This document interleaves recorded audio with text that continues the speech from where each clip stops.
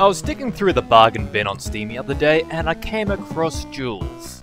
I'm guessing the main character here is Jules, but there isn't really much of a story to begin with.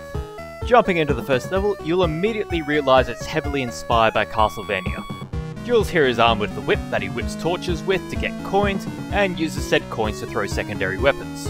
But moving on past the Castlevania similarities, Jules is your stock standard 2D platformer.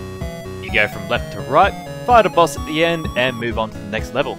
Now, as you may have guessed, I just love my pixel art games. Hell, pretty much every game I've done on Dollar Game Club so far has been a pixel game. I might want to fix that.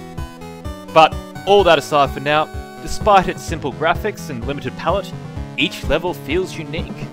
The level design was really good too. Like, there weren't any sections where it felt cheap or impossible to pass, but there was some definite challenge here, like this section in the desert, which felt like an endless bridge of falling platforms. And I thoroughly enjoyed the tower level. My overall playtime clocked in at around 90 minutes, but somebody who's much better at platformers than I am would probably beat it in a lot less time. Actually, this game would probably benefit from a time attack mode, it begs for speedruns. But is it worth a dollar? Yeah, it's worth a dollar.